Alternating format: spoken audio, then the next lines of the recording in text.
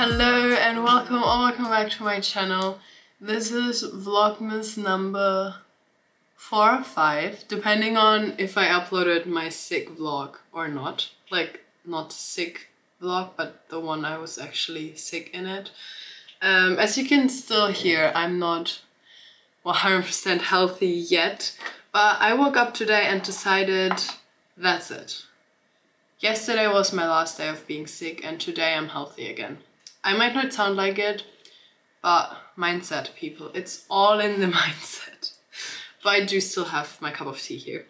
Anyways, I thought I would start this uh, Vlogmas vlog by saving my nails and talking a bit about growth on YouTube because it's something I have been thinking about in the past two months quite a lot and especially now that the year is coming to an end and I'm checking up on my goals and realizing I failed absolutely every single one of them, I, I, I just wanted to talk about it. I don't know, maybe some of you can resonate. I'm not sure how many small YouTubers are watching my videos, but maybe this also resonates with other people in other goal-making parts of their life. Um, so yeah, we're gonna talk about all of that and also, as I said, fix my nails. Should I quickly show you how my nails look like?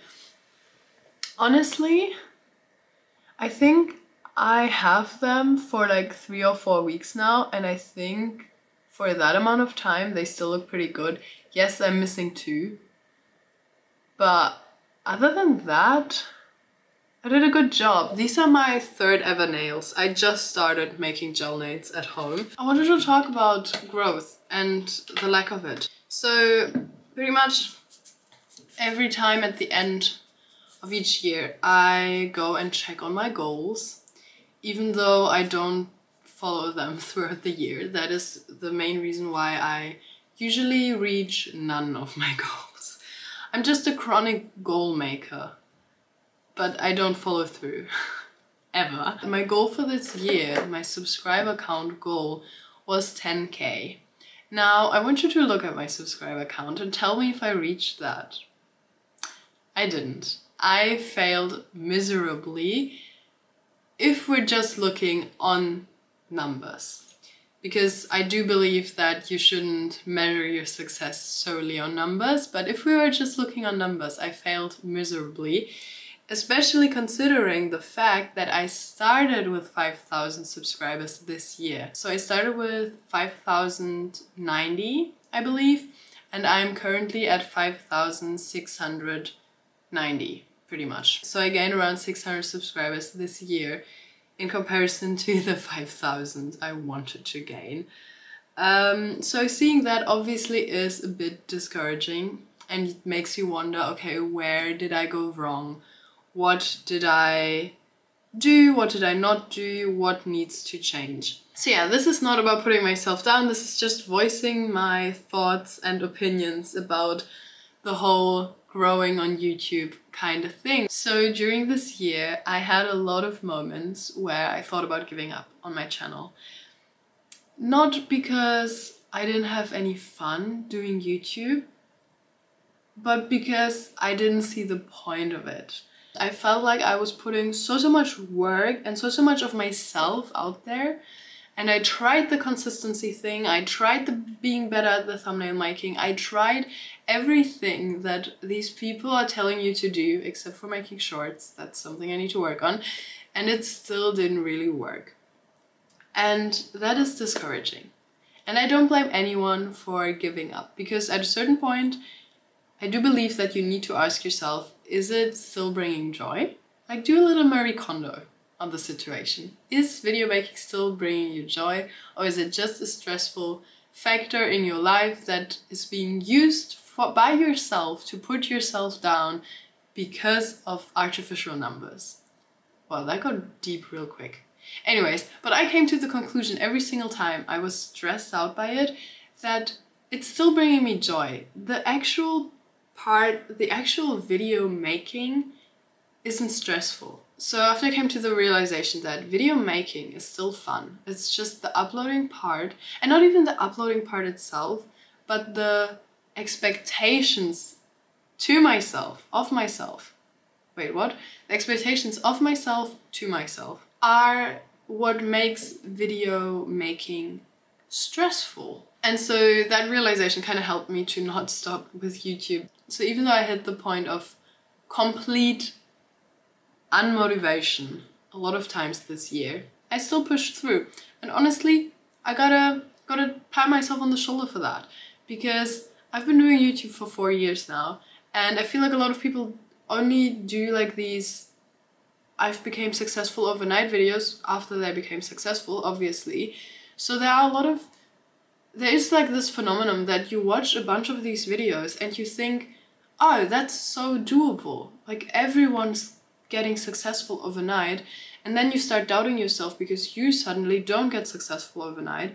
But I think what we don't see and what we often forget is that there are so many more people out there with a smaller subscriber count and they're doing it for years and they haven't become successful overnight. Obviously, we will feel bad about ourselves if we only hear stories of people suddenly becoming successful because these are the videos we are watching and these are the people who are actually making successful like videos about success because if you want to make a video about success, the main rule kind of is that you have been successful. So it's easy to only see that and kind of forget that there are so so many more people out there who don't make I became successful videos because they just haven't become successful yet. Uh, so yeah, I've come to the point of complete dismotivation. That's not a word, is it? Unmotivation.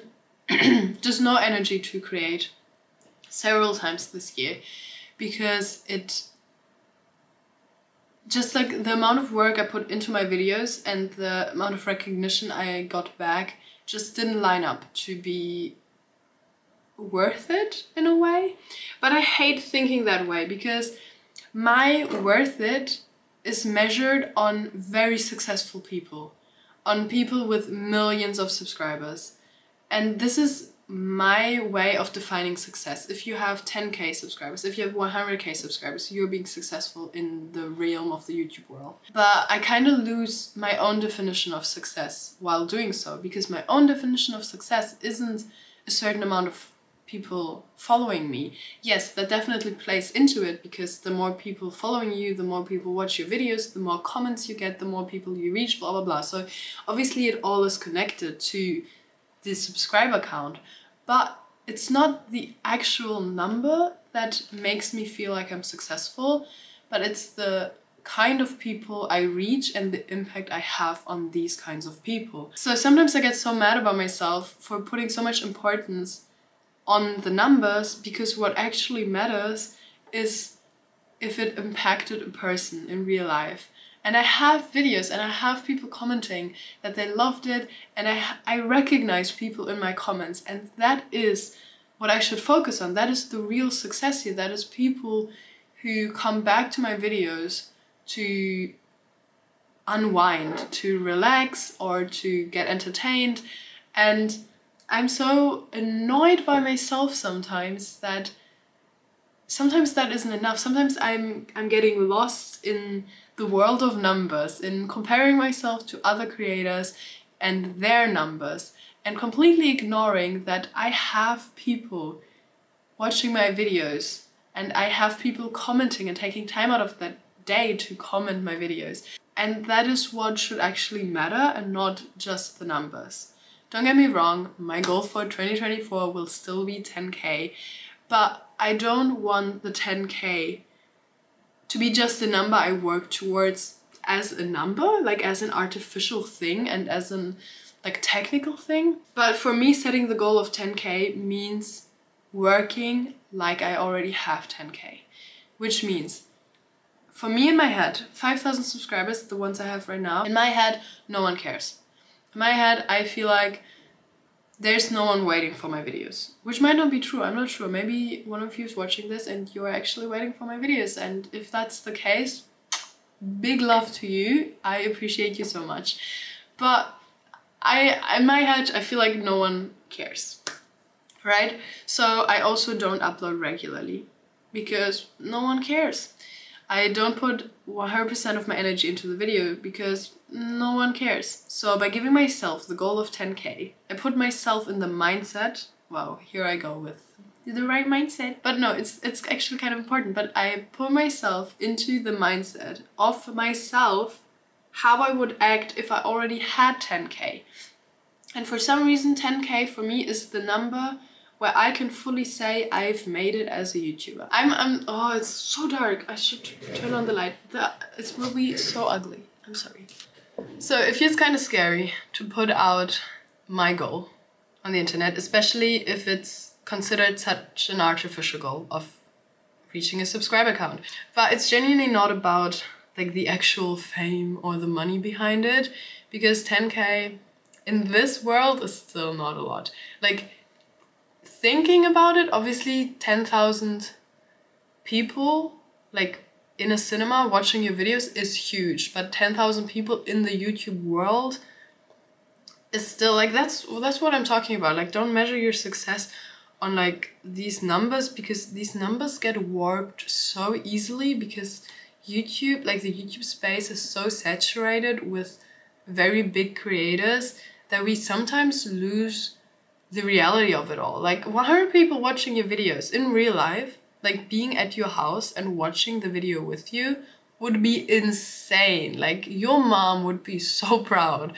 So 500 people watching your videos is even crazier, so don't belittle that. So yeah, it feels scary to put that out there, especially since it's in a way not in my control. So maybe next year I'm still at 5,000 subscribers. Goals for me need to be aiming very high because that only means that you will do your absolute best to reach it. If it's achievable, I can get lazy. But if it's unrealistic, I actually need to work hard. So that's why I'm setting myself up for 10k again, even though I failed this year. Um, because I need to stick to that mindset of already having 10k subscribers. I think what we actually should be proud of isn't the fact that we have a certain amount of subscribers, but it's the fact that no matter what, we still show up.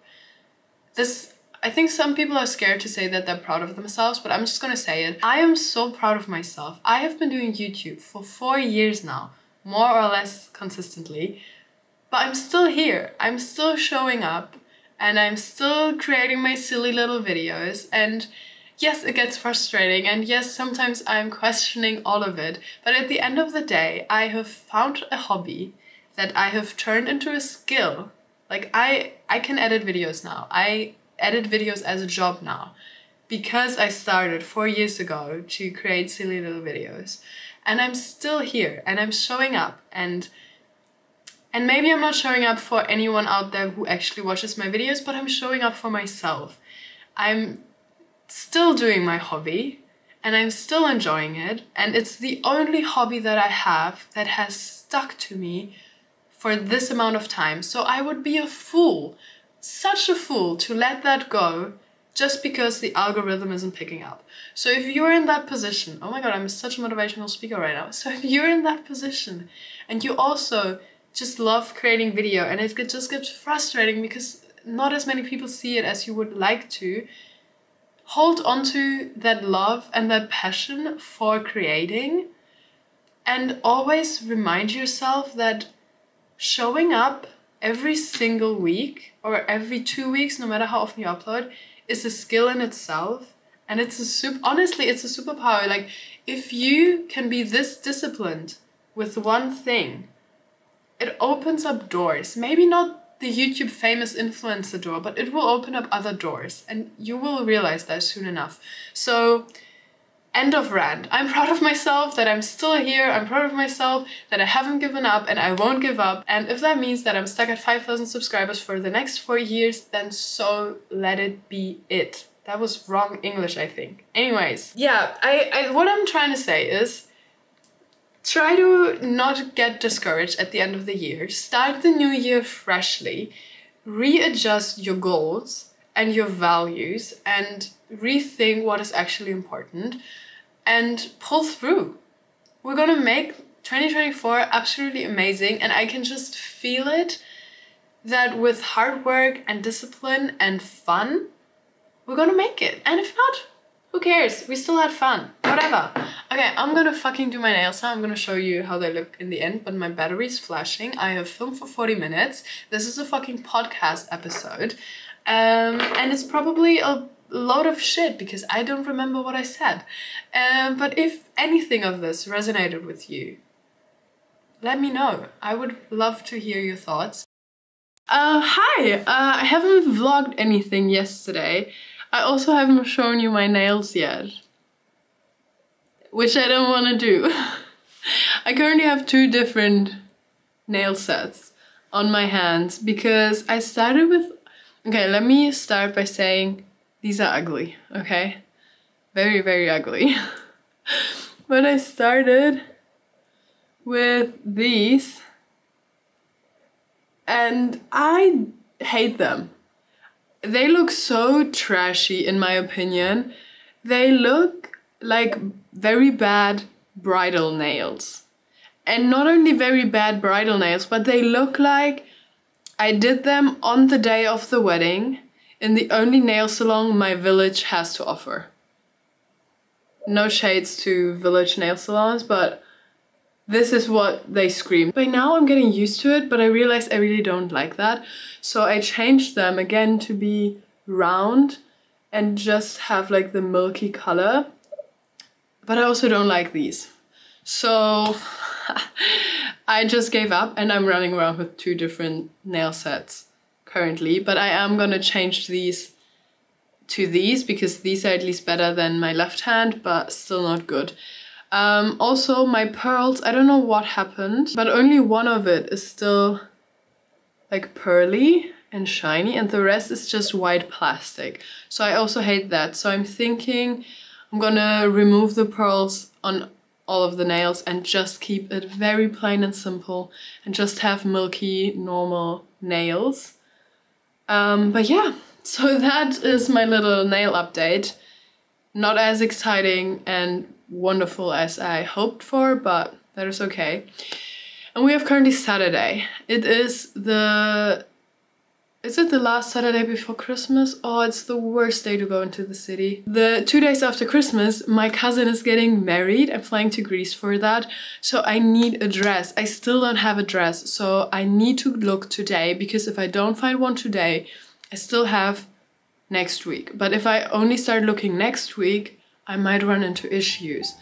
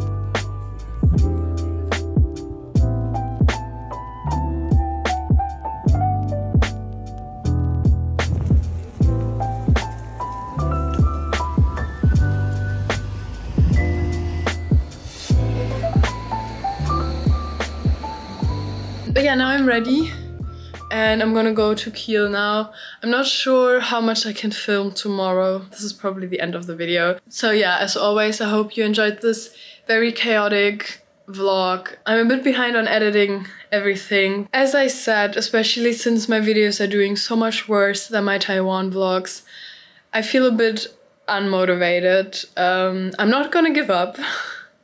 Definitely not. Especially since, oh, I quickly want to talk about this. I woke up and I checked my views on the third Vlogmas video and they weren't great. Absolutely not great. And I was feeling down. But after an hour or so, someone commented, someone um, who comments under a few of my videos has commented again that they love my videos and immediately once I read that comment that made up for the little views because I knew that there's this one person that is commenting and it just made me so happy that I forgot that the video itself wasn't doing that great. And then I also woke up to a DM on Instagram of someone commenting to my story where I promoted the video that they have been watching my videos for years and they love them. And having these two comments as a response to that one video that isn't going super great immediately made up for the little views because even though it doesn't have many views, it reaches people that care enough to let me know that they love what I'm doing. And that absolutely made my day. And honestly, it made my week. I'm still thinking about it and I'm still happy about it. So even though I'm a bit unmotivated for this whole series and for video creating in general at the moment, I am not giving up and I still appreciate that there are people out there who do watch my videos. Yeah, I don't know. I just wanted to share that real quick because it kind of goes with the theme of the video and um, it made me really happy. I also want to make it a goal for myself this upcoming year to comment more under videos because I often think, oh, that was a great video, or the video really entertained me, or that video lifted my mood, or whatever nice comments I have.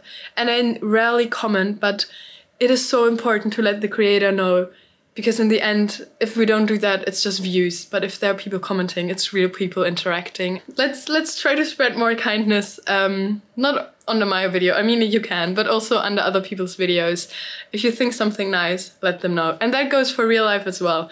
Um, and with that i hope you enjoyed the video. Give it a like if you did and i'm gonna see you very soon in my next vlogmas video. I have one minute on my sd card. I'm running out of time so bye bye Hello, I am sick. Also, do you see that? Oh, this looks so, it looks like I peed in my bed.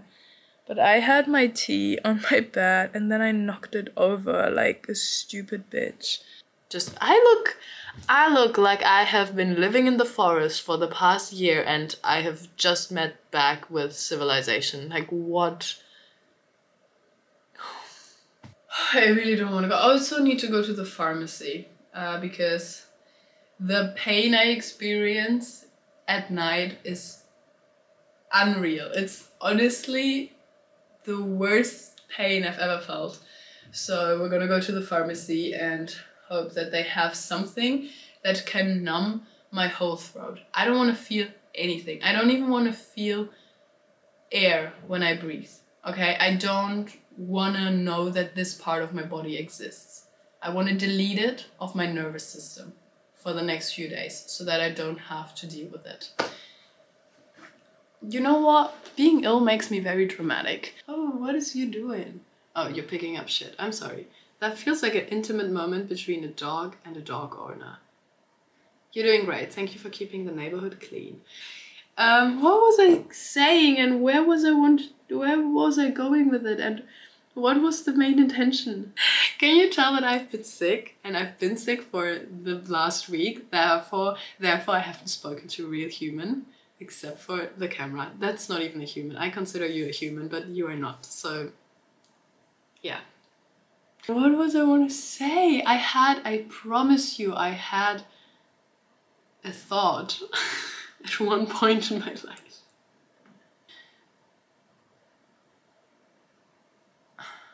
Lost my thought again. See, I wanted to talk myself down there. We don't have time to talk ourselves down. We have goals to reach.